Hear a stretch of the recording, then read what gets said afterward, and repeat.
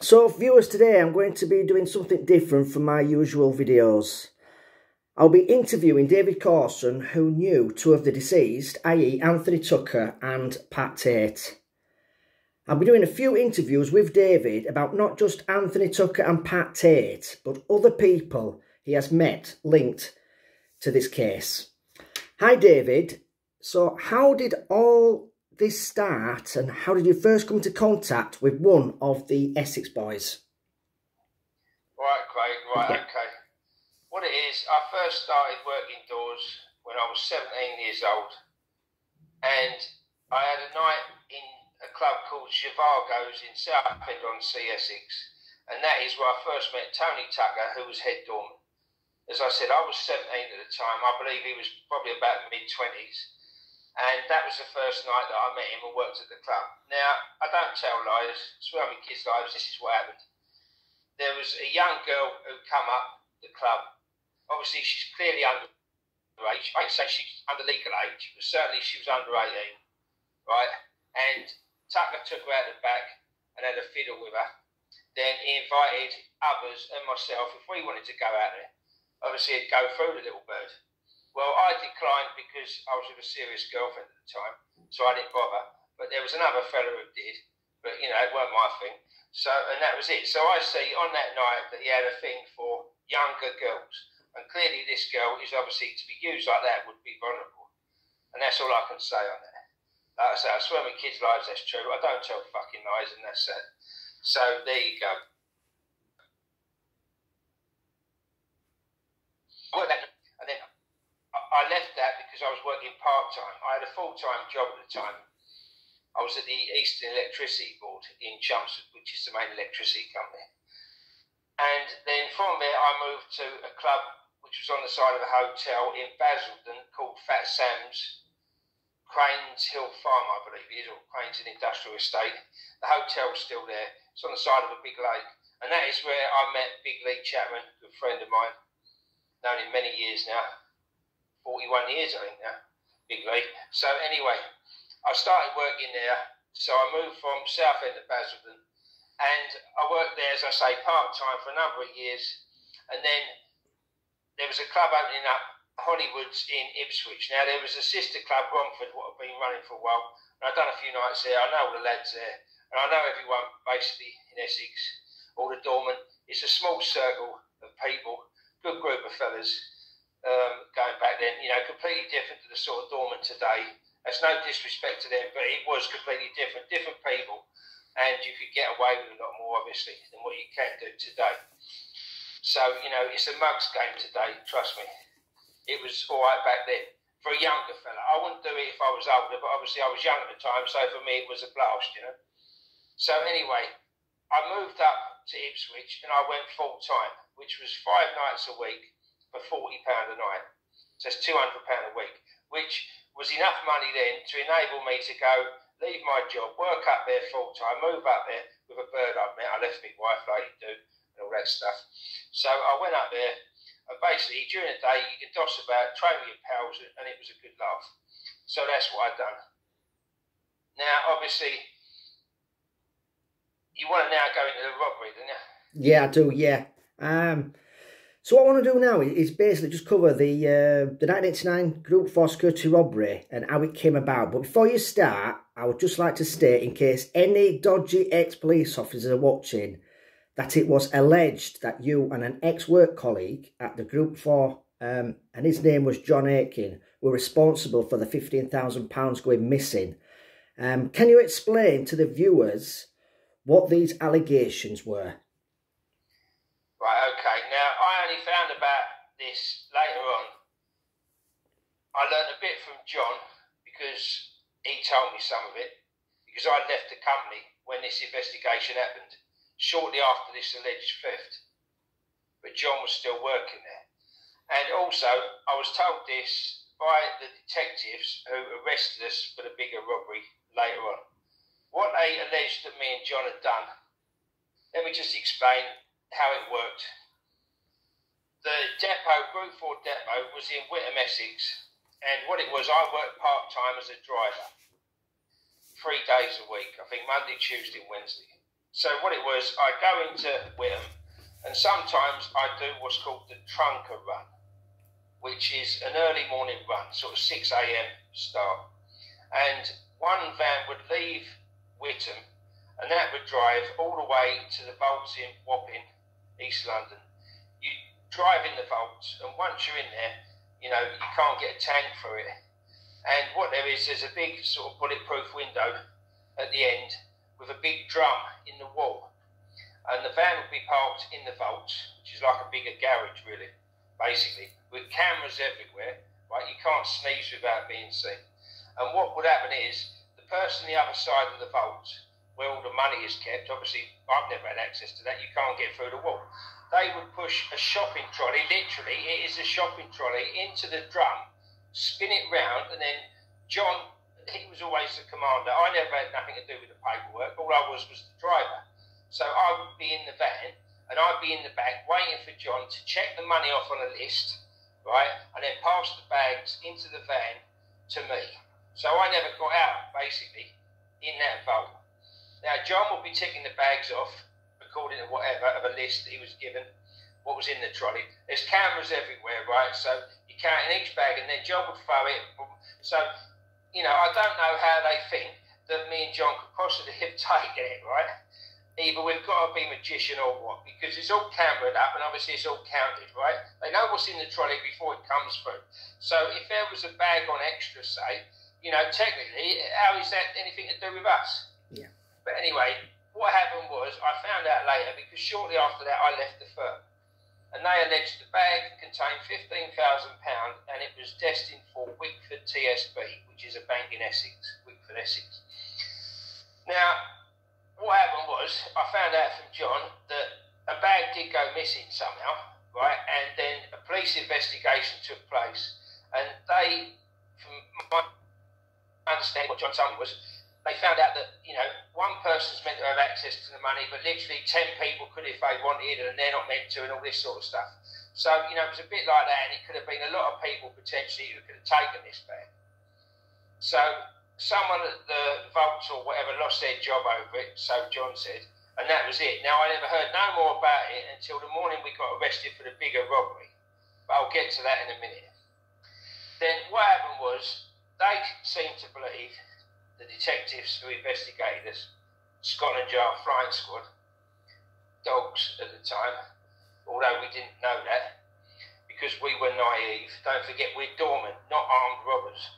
So anyway, they believed that getting away with that fifteen thousand pound give me the idea to commit a bigger robbery. Now, if you look at how it all sort of linked together, if we had the inside man, they say, John Aiken, technically it would have been easier for me to still work for the firm and for me and John to just say we got held up by one of our friends without any guns or fuss and just stick to our story. And also, another thing is, 495,000 that they say got stolen, which obviously did get stolen, is not even a large amount of money. Them vans are insured to carry up to one and a half million at the time. So technically, you know, it was a third of what potentially was available. So, you know, and if they say we had the inside man, then that robbery potentially could have happened any day we wanted. Right? Now, this is what happened. The night before the robbery occurred, I got caught driving a stolen car in Chelmsford. I went round to my mum's, come out and got nicked. So I get arrested. Now, the very next morning, the robbery takes place. The van drives to the vaults in Wapping, and what you're not meant to do, you are not meant to stop anywhere. Right, you are meant to fly back from them vaults all down the A12, straight back to the yard, no stops. Right, it's number one rule for all drivers. But what it was for months, every driver had been doing it. They've been stopping at this local news agency in Whalebone Lane. The guard would jump out, buy a newspaper, get in, and it, it was you know what I mean? They've yeah. been doing it for months, so it was standard thing. But you're not allowed to do it. No one was. Now, funny enough, this is quite funny. When the robbery happened, the Sun newspaper, like they do, lying again, had a big headlines: half a million pound, the price of a sun. But it wasn't even a sun the geezer bought.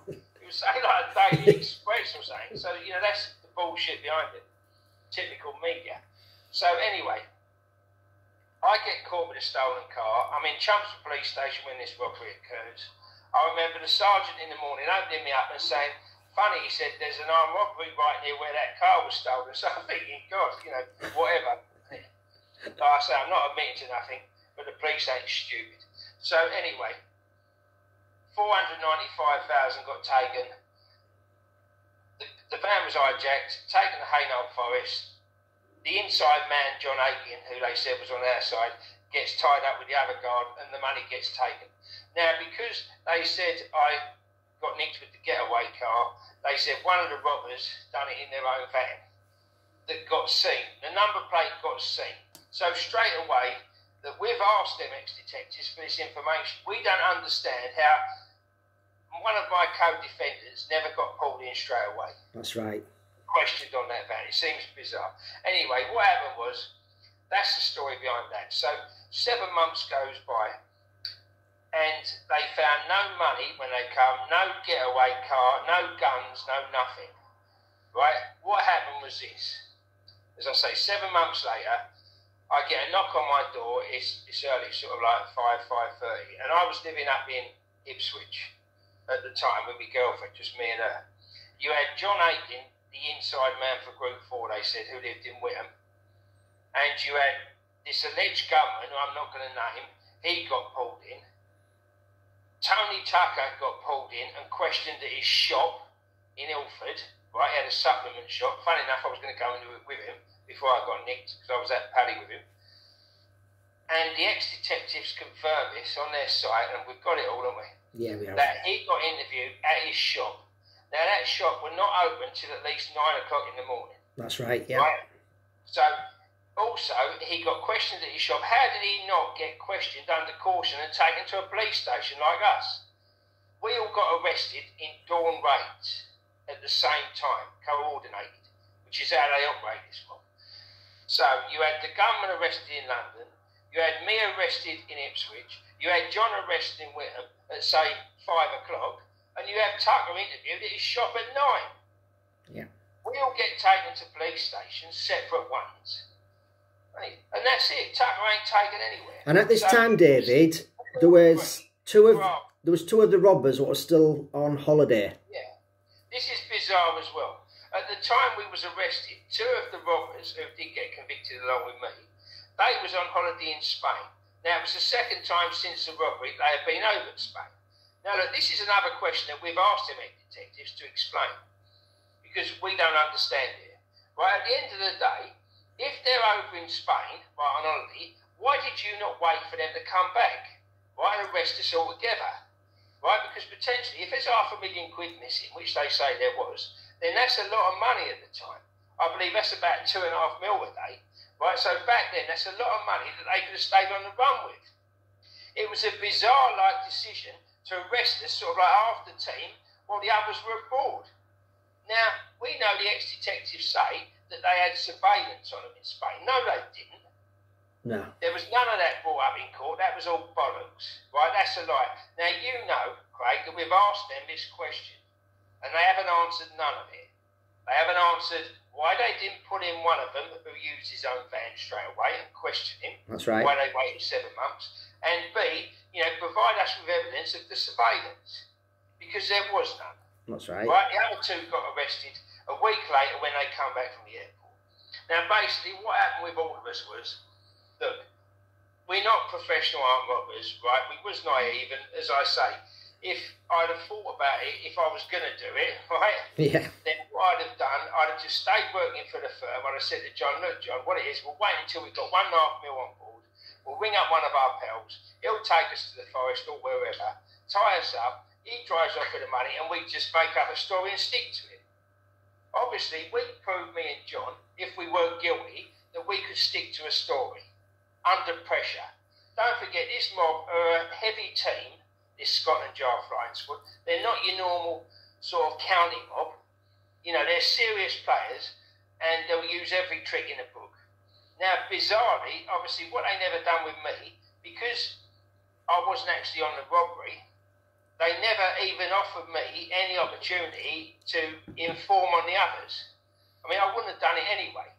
But what it was, we all got arrested that morning, apart from Tucker, who got questions at his shop, and it was all agreed between all of us that Tucker grassed us. Yep. Right? And we stick to that to today. So that's a fact, right? Because obviously we're arrested at five o'clock in simultaneous rates. Tucker's questioned at nine o'clock, or whenever his poxy shop opened in Ilford, right? He's questioned at the shop, not taken to a police station under caution, and all the rest of it. Uh, so how is that? Yeah. Come on, right? Simple as that. The whole thing stinks. What they said his part was they were questioning him about passing money backwards and forwards between them in Romford, me in Ipswich, and all the rest of it, and sort of passing messages across. Because obviously, you know, if we had been involved in something like that, we'd all sort of, you know, stick to our own area and not on the phones, all that sort of stuff. Yeah. But you know, everyone basically knew what had gone on. So, David, um, yeah. when the officers come round um, that morning, um, yeah. what happened? This is true again. It's around the kids' lives. I don't tell lies. And what happened was, after our appeal years down the line, I'll get to that later a squad come down from the Met Anti-Corruption Unit and questioned me on this at Ipswich Police Station. I told them exactly what I'm going to tell you now. Like I said, I swear on my kids' lives this is true. Right, like I'm going to do that. Now, what it was, I get arrested in the morning and there was two main policemen. I think there was about six or seven of them. They had a woman there because obviously my girlfriend Hayley Smith at the time was in the house. She's dead now, bless her. She was in the house with me in the bedroom. So they come round, give them their due. They didn't take the door off. They were obviously armed, but they didn't start pointing guns at us. So I'll give them respect for that. That was good of them. Right, it was a brand new house. I'd have been pissed off. so what it was, right here, I'd only been in it a few months.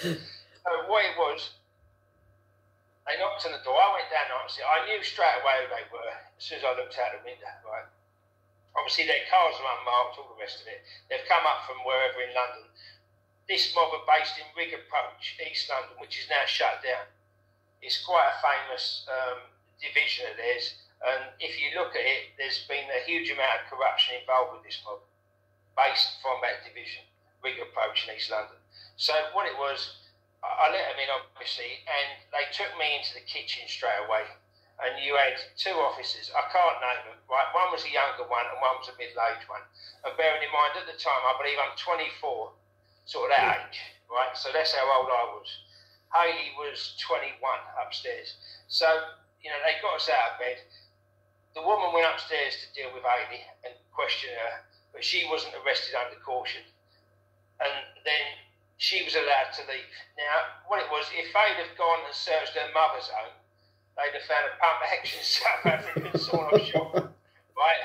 They'd have found that. But they missed that, right? So that was good they never went there.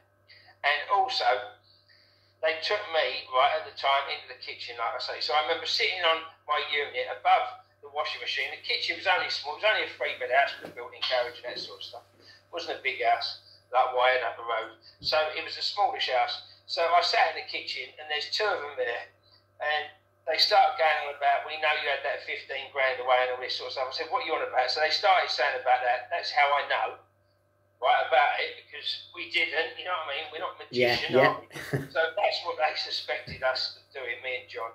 And then basically they were saying to me, "Look, come on, we know you've done this." We know. And I said, "Look, I didn't done nothing. I don't know what you're on about." But I Just denied it. So this is what he'd done, and this is true. He got out a notebook. One of them did. The more senior one. I can't remember his rank. I believe it was sergeant. I got. I know their names, yeah. but obviously I'm not going to say them. Right? So what he done, and this is a warning to anyone out there: if you do get arrested by the police, do not say nothing, and certainly don't be as stupid and naive as I was at the time and sign anything. What he done, he opened up his notebook, and he wanted to take um, some items what he believed were relevant to potential wealth or some link to this robbery, which was bizarre because the items had nothing to do with it. There was a Gucci watch, what I believe was about £600 value he took that. There was a pay packet in a brown envelope sealed up with 200 quid in, which was my week's wages for Hollywood Ipswich. £200 on it and wages, you know what I mean? Yeah. So he took that. So there was the watch, the wages, and there was two other items. I can't remember what they were. One might have been a painting or something. worth a few hundred quid, something like that. And then also what they've done, they took as well, they took my Sierra, two litre GL at the time, what I paid, I think, about five and a half grand for. Up the road, a couple of years later, I got that back. So I got the car back. Now, uh, bizarrely, two of the alleged robbers the ones in Romford were driving around in 25 grand and 15 grand motors. They never took them. So it was a bit bizarre how come they took my one. Why I could easily prove that I paid legit for. So that was a bit weird. I can't understand this guys, but you know, to me they're dumb. They make dumb decisions. Like I say, you, you know, they didn't put us all in together. They're on holiday in Spain, well half a million's missing. You know, it's just poor decisions. I can't work them out. They're here, there and everywhere. You know, he doesn't seem like a professional investigation. Anyway, this is what they've done to me. This is pure corruption, right? On level one. He had the notebook. He listed the items, the wage packet, the watch, two other silly things. And he said, Dave, do us a favour so we can take these. Would you sign? I said, all right, no problem, like a mug. So I signed my name under it. Then what it was, we got taken, I got taken to Epping Police Station and questioned. Now, obviously, I spoke to him. I know the alleged gunman gave a no comment statement, right? And obviously, the other two at this point in time are still on holiday in Spain, right? That's right. So yeah. obviously, they're going to hear about us getting pulled in. It's, it's stupid, it's dumb. But this is what happened. John was taken somewhere else, right? Now, what happened was John obviously has to speak to him because he had to speak to him during the robbery. He can't sit there and say no comment, can he? He look as guilty as anything. So John spoke to him. I spoke to the police as well. I didn't give a no comment statement. Obviously, they put a lot of pressure on you, but you know, I stood my ground. I told them exactly what's what, you know, and that's it. And they couldn't sort of break it down, right? And as I say, bizarrely, they didn't offer me because my charge turned out to be aiding and abetting. The others was armed robbery. So bizarrely, look, if it was a bit of a weak case, you'd have thought, especially maybe up the road, maybe not at that point, that they'd have come to me and said, look, would you grass up the others? But they didn't, right? Now, we know obviously that Tucker has pinpointed us, right, to get out of it, because at the time he'd just taken on security firms and all this, and he was, if you like, up and coming. He was a level above us. We were dormant, he was running the doors. Yeah. So he had a bit more wealth than what we did. You see the levels at that yeah. point. Obviously, later on, I'd pay a thousand times above that mug. But obviously, that was what it was at that point. So anyway, I go to Epping Police Station. I get reminded. Me and John both get reminded. The alleged gunman walks off. I don't know how because obviously God knows. You know they set us up. I don't know how he got out of it, but he did. You know, obviously he didn't grasp. They wanted him more than they did us. Yeah, I find that very strange, David. Yeah, again, this whole investigation is topsy turvy and bizarre. We, we, we don't understand it to this day. And obviously, we've asked that detective, the one who's investigating, re-investigating the Rettendon murders, the older one, you know he is. Yeah. The one who interviewed me in the hotel, in the hood. what a joke that was. The hooded figure. Anyway, so we've asked him these questions, right, and we're going to put these emails out as well. We've got more evidence to show this, but we'll get to that up the road. Where we've asked him these questions. You've, you've seen it, you've got it, haven't you? Yeah, I've, I've, I've put it on my group many times, um, asking them these specific questions, and you get no reply from them. Mate, it's a wall of silence. Typical police, isn't it? Yeah. Well, anyway, so we, me and John get remanded in Chelmsford Jail. Now, what it was, when I was in Chelmsford Jail, a couple of weeks later, I get me sort of papers through, statements, if you like. And basically, what it is, I've admitted to all of it, right? And not only have I admitted to all of it, also, I've signed it. I've signed the statement. So literally, I've signed a statement where I've admitted to it. You know, how dumb's that? I remember running into the next cell to speak to a pal of mine called Danny O'Halloran, who's a well-known fella from East London, older fella, old school villain, if you like, and he was in there for a big drugs factory. I remember going, Danny, Danny, look at this. I said, look, this is police statements. I said, they're saying I've admitted this, they even signed it. He went, that's verbal, boy. I went, verbal? What are you on about? I don't know. What's verbal? He said, look, it's what they use, these squads. He said it's a well-known te- uh, tactic. Basically, they'll say that you said this on the way to the police station or whatever. Obviously, if you're on a taped interview, you you know you're not saying nothing, or you're not admitting to nothing. But they'll say you admitted it in the car, this and that, and it's a tactic, sort of a holding tactic. So they get enough to take it to a magistrate who believes them, right, and obviously then remand you. And that's basically it. Now, I believe that's as far as you want to go for now, isn't it? It is, yeah. Um, basically, what I want to do in this interview is just cover what we've covered today, David. And in the next one, um, we'll talk about your time in prison and how you came to meet Nipper Ellis and Pat Tate. So if that's yeah, okay yeah. for today, um, that's yeah. That's fine. Um, thank you for your time, David, and we'll speak soon. Yeah, no worries. Cheers, mate. Yep. Bye.